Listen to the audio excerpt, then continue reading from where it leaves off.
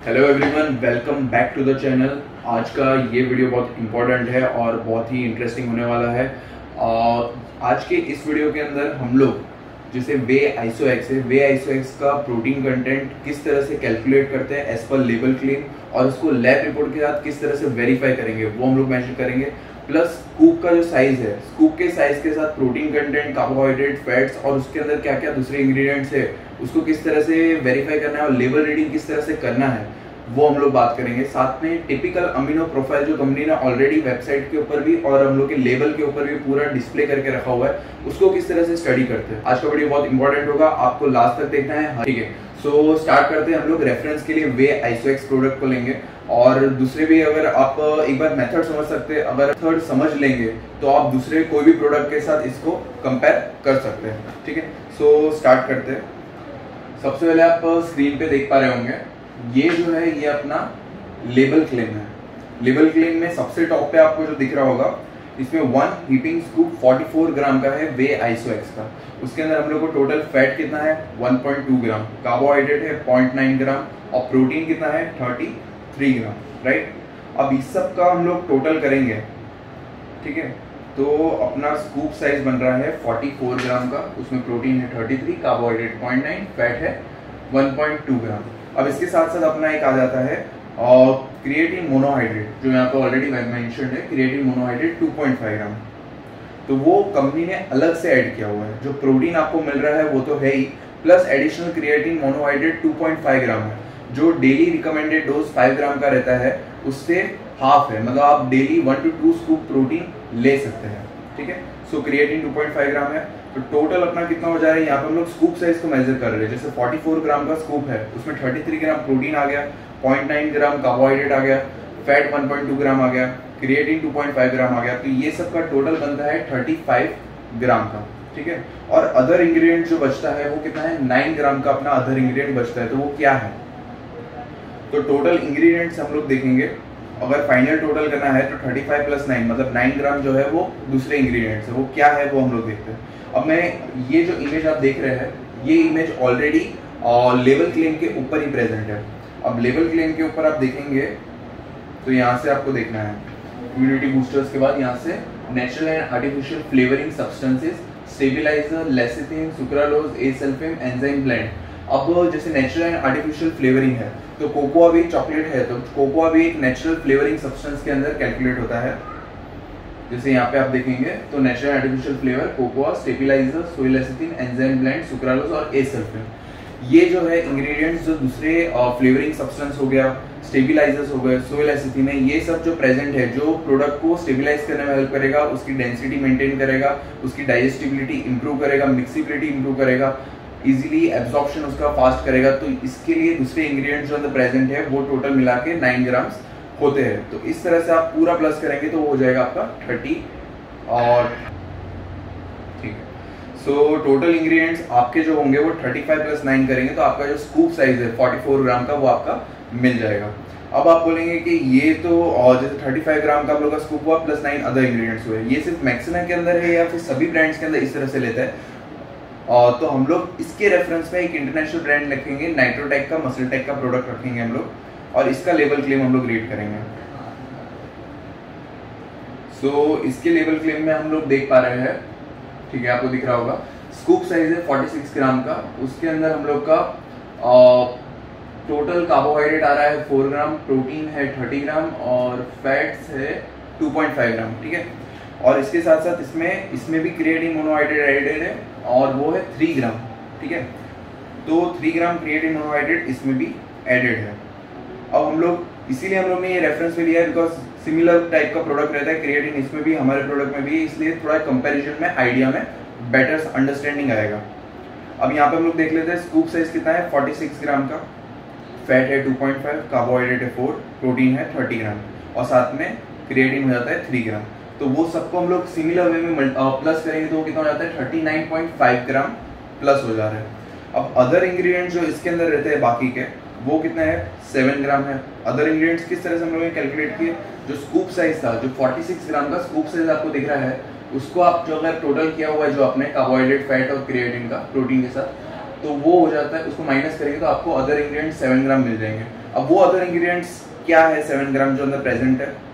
Again यहाँ पे भी आप देखेंगे सिमिलर इंग्रेडिएंट्स है। इसमें भी क्या क्या लिखा हुआ है? Cocoa process with alkali natural and artificial flavouring lecithin gum blend enzyme blend sucralose acesulfame ठीक है? तो ये इंग्रेडिएंट्स उसमें प्रेजेंट है। तो इससे आपको एक चीज़ क्लैरिटी हो जाएगा कि जिस तरह से स्कूप का मेजरिंग होगा तो एग्जैक्टली आपको 100 परसेंट जो आप अगर टोटल कार्बोहाइड्रेट प्रोटीन फैट्स है उसको प्लस करेंगे तो आपको एग्जैक्ट स्कूप साइज़ नहीं मिलेगा। उसके अंदर अदर इंग्रेडिएंट्स भी है जो उसको प्रोडक्ट को स्टेबिलाईज करने में हेल्प करते हैं, जो उसका डाइजेस्टिबिलिटी और जिसका न्यूट्रिशनल वैल्यू नहीं रहता इतना बट वो प्रोडक्ट को एनहांस करने में हेल्प करते हैं। तो वो अंदर अदर इंग्रेडिएंट्स के फॉर्म में ऐड होते हैं। ठीक है? सो ये एक आपको क्लैरिटी हो गया। दूसरा एक चीज़ इसके अंदर जो मैं आपको बताना चाहता हूँ, काफ़ी लोगों के क्वेश्चन रहते हैं कि जैसे अगर अपने प्लस कर रहे हैं स्कूप साइज़ को तो स्कूप साइज़ के अंदर हम लोग यहाँ पे, जैसे हम लोग ने प्लस किया था यहाँ पे आप देखेंगे कार्बोहाइड्रेट प्रोटीन और फैट को। तो इसके अंदर अपना कितना होता है? थर्टी और thirty four thirty five thirty five के आसपास अपना हो रहा था। प्लस लोग क्या करते हैं इसको बीसी डबल मैट्रिक्स है उसको भी वहाँ पर प्लस कर देते हैं। एक्चुअली ऐसा नहीं होता है। बीसी डबल जो मैट्रिक्स है और जो भी प्रोटीन है प्रोटीन अपना बनता है अमीनो एसिड से। और जो बी सी डबल है वो अमीनो एसिड का एक पार्ट है। सो so, ये जो B C double matrix occurring है वो नेचुरली अकरिंग होता है। ठीक है। जो बी सी डबल मैट्रिक्स है वो आपका नेचुरली अकरिंग होता है प्रोटीन के अंदर। अब यहीं पे हम लोग देखते हैं सेम कंपैरिजन हम लोग ने अगेन नाइट्रोटेक का लिया हुआ है उसमें भी सिमिलर वे में रिप्रेजेंटेशन किया हुआ है। सो so, आप ये देखिए leucine as whey protein isoleucine as whey protein valine as whey protein जितने भी ब्रांड्स के अंदर अगर आप लेवल क्लेम पे भी यहाँ पर है, अगर लेवल क्लेम पे आप आगे कोई भी ब्रांड के अंदर बीसी डबल देखते हैं ल्यूसिन देखते हैं तो वो अलग से एडेड नहीं होता है। जो भी उसके अंदर प्रोटीन है, उसका एक्चुअली प्रोटीन बना ही अमीनो एसिड की प्रोफ़ाइल से है। सो वही अमीनो एसिड आपको यहाँ पे रिप्रेजेंटेशन के फॉर्म में बताए होते हैं। ठीक है? ओके सो लास्टली जो हम लोग ने अभी हम लोग ने डिस्कस किया कि बी सी डबल मैट्रिक्स को हम लोग प्लस कर देते हैं। अब जैसे मैंने बताया कि प्रोटीन जो बना हुआ है, वो अमीनो एसिड से बना हुआ है। तो जो आप लेबल पे देखेंगे तो यहाँ पे लेबल पे ही कंपनी की तरफ़ से एग्जिट जो लेबल क्लेम है, उसके बाजू में टिपिकल अमीनो प्रोफ़ाइल करके यहाँ पे डिस्प्ले किया होगा। यहाँ पर उसका एक फ़ोटो है। ठीक है? सो यहाँ पर 33 ग्राम का अपना प्रोटीन एक स्कूप है अपना 44 ग्राम का, उसके अंदर 33 ग्राम प्रोटीन मिल रहा है। तो 33 ग्राम का जो प्रोटीन है उसका अमीनो प्रोफ़ाइल क्या है? अमीनो प्रोफ़ाइल अगर है तो यहाँ पे आप देखेंगे 33 ग्राम के प्रोटीन में क्या अमीनो प्रोफ़ाइल मिलता है? ल्यूसिन कितना मिलता है? आइसोल्यूसिन कितना मिलता है? वेलाइन कितना मिलता है? ये सबको जब आप प्लस करेंगे तो आपको, ठीक है, जब आपको ये सारे अमीनो एसिड को प्लस करेंगे, आपको एग्जैक्ट 33 ग्राम प्रोटीन यहाँ से मिलेगा। मतलब आपका जो प्रोटीन कंटेंट जो लेवल पे दिख रहा है, उसके अंदर जो अमीनो एसिड प्रेजेंट है, वो क्या क्या है? और ये सारे अमीनो अंदर एसिड प्रेजेंट होंगे। और जब आप इसका टोटल करेंगे आपको ये पूरा एज पर लेवल क्लेम 33 ग्राम प्रोटीन मिल जाएगा। क्योंकि कितने लोगों को कंफ्यूजन होता है कि इसमें क्रिएटिन है तो क्रिएटिन उसके अंदर इंक्लूडेड है या फिर प्रोटीन है अलग से और साथ में क्रिएटिन है। सो हम लोग ने यहाँ पे क्लियरली लेवल पे ही बताया हुआ है कि लेवल पे प्रोटीन पूरा कंप्लीट है, उसके ऊपर एडिशनल में 2.5 ग्राम क्रिएटिन एडेड है। ठीक है? If you are taking one scoop of whey iso x 23 gram कौन है तुम्हारी गर्लफ्रेंड है? तो तो फ़ोन क्यों कर रही है? If you are taking one scoop of whey isox 33 gram protein, what will be the amino profile? ठीक है। ये हम लोग ने एक क्वेश्चन का भी आंसर दिया कि 33 ग्राम का प्रोटीन है 44 ग्राम के स्कूप में। सो so उसमें 33 ग्राम प्रोटीन मिल रहा है और उसका हम लोग अगर टोटल कर रहे हैं जो अमीनो एसिड का प्रोफ़ाइल था उसका तो हम लोग को एग्जैक्ट 33 यहाँ पर मिल जाएगा। यहाँ पे लिखा हुआ भी है कि पर स्कूप जो 33 ग्राम प्रोटीन मिलता है उसको किस तरह से बाइफरकेट किया ट्वेंटी अमीनो एसिड्स रहते हैं उसका पूरा बाइफरकेशन दिया है। बीसी कितना है? एसेंशियल अमीनो एसिड्स कितने हैं? अदर अमीनो एसिड्स कितने हैं? ठीक है? ओके सो लोगों का एक कंफ्यूजन रहता है कि जो हम लोग का लैब रिपोर्ट है लैब रिपोर्ट के अंदर जो प्रोटीन है, वो हमेशा थोड़ा ज़्यादा क्यों आता है? तो रीजन है उसका कि प्रोटीन तो हम लोग का प्रेजेंट है, जो एक्यूरेटली हम लोग ने बताया वो प्लस उसके अंदर 2.5 ग्राम क्रिएटिन भी एडेड है पर स्कूप के अंदर। तो उसके लिए हर एक क्रिएटिन भी क्या है? एक अमीनो एसिड ही है। अब क्रिएटिन ऐसा अमीनो एसिड है जिसका एक नाइट्रोजन हर एक अमीनो एसिड का एक नाइट्रोजन वैल्यू रहता है। और जो प्रोटीन टेस्ट होता है, वो भी नाइट्रोजन वैल्यू के एस्टिमेशन के ऊपर होता है। तो उसकी वजह से प्रोटीन का जब प्रोटीन कंटेंट जो है प्लस क्रिएटिन का जो वैल्यू है, वो भी ऐड होगा, जो प्रोटीन कंटेंट का टेस्ट होगा उसके अंदर। तो इसीलिए हमेशा थोड़ा टू टू फाइव परसेंट का वेरिएशन अपने लैब रिपोर्ट के अंदर उसमें दिखेगा। अब हम लोग पहले तो एज पर लेवल क्लेम जो कंपनी ने लेवल क्लेम किया है उसके अंदर कितना प्रोटीन परसेंटेज कैलकुलेट हो रहा है वो हम लोग चेक करते हैं। यहाँ पे आपको क्रॉस मल्टीप्लाई करना है जैसे यहाँ पे दिखाया हुआ ही है एज पर लेवल क्लेम 44 ग्राम का स्कूप है। और उसके अंदर प्रोटीन कितना है ये स्कूप है। और यहाँ पे प्रोटीन है। बराबर दिख रहा है क्या ऊर्जा? नहीं सर दिख ठीक है सो यहाँ पे प्रोटीन कितना है 33 ग्राम एंड अगेन जैसे हम लोग यहाँ पे हंड्रेड ग्राम के लिए कैलकुलेट करते हैं, हमेशा प्रोटीन जब रिपोर्ट में आता है ना तो हंड्रेड पर हंड्रेड ग्राम कितना परसेंटेज प्रोटीन है, वो कैलकुलेट होता है। तो हमेशा इसको क्रॉस मल्टीप्लाई करेंगे। तो क्रॉस मल्टीप्लाई करने के लिए क्या करेंगे हम लोग?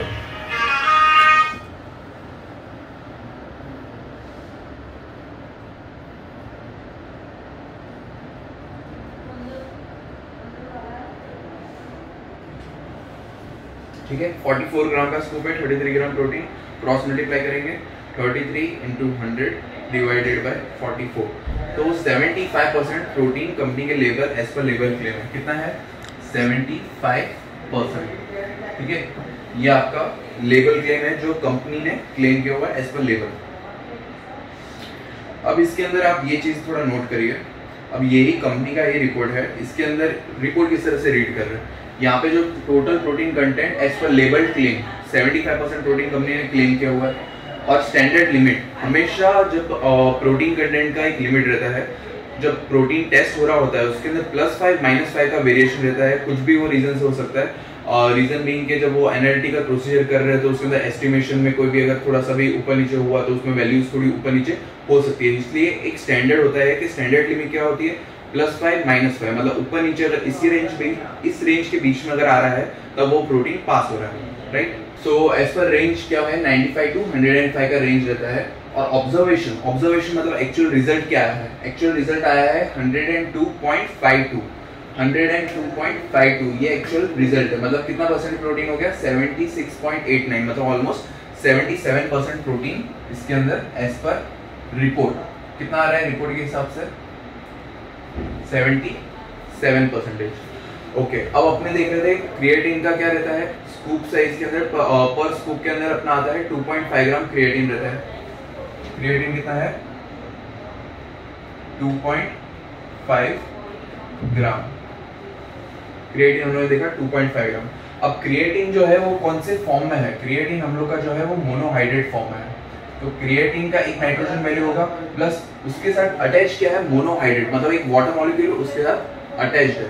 तो वहाँ पर क्या होगा? एक्चुअल जैसे 2.5 है तो नाइट्रोजन वैल्यू इसकी पूरी 100 परसेंट नहीं होगी। क्यों नहीं होगी इसकी 100 परसेंट उसकी नाइट्रोजन वैल्यू थोड़ा फिर से मैं क्लियर कर देता हूँ। जैसे क्रिएटिन मोनोहाइड्रेट है। क्रिएटिन का एक फॉर्म है, जिसके अंदर मोनोहाइड्रेट मतलब वाटर मॉलिक्यूल उसके साथ अटैच्ड है। तो इसके अंदर 2.5 ग्राम क्रिएटिन है बट वो 100 परसेंट होता है। 100 परसेंट उसकी नाइट्रोजन वैल्यू नहीं आएगी रीजन क्या है? क्योंकि इसके साथ मोनोहाइड्रेट मतलब मोनोहाइड्रेट मतलब वाटर मॉलिक्यूल क्रिएटिन के साथ अटैच्ड है। तो इसीलिए उसकी नाइट्रोजन वैल्यू 100 परसेंट नहीं आएगी। तो कितनी आ सकती है? इसकी ऑलमोस्ट 75 परसेंट फिफ्टी से लेके 75 परसेंट के आसपास। इसकी ऑलमोस्ट 50 से लेके 75 परसेंट के आसपास होगी। सो हम लोग जैसे 2.5 ग्राम है तो अपने एस्टिमेट इतना तो ले सकते हैं कि 1.25 से लेके 1.5 के आसपास उसकी नाइट्रोजन वैल्यू मिलेगी रिपोर्ट के अंदर। अब अपने चेक करते हैं। अगर हम लोग का स्कूप साइज़ जो था, जिसके अंदर हम लोग 33 ग्राम प्रोटीन लेके चल रहे थे। अब स्कूप साइज़ हम लोग वापस वही कर रहे हैं। स्कूप साइज़ है 44 ग्राम का। उसके अंदर हम लोग ये 1.25 जो क्रिएटिन की वैल्यू मिल रही है नाइट्रोजन के फॉर्म में, वो हम लोग प्लस कर देते हैं। कितना करेंगे प्लस ऑलमोस्ट 1.25 करें। 34 चलिए 34.5 मैक्सिमम वैल्यू लेके चलते हैं। तो 34.5 के हिसाब से हम लोग कैलकुलेट करते हैं।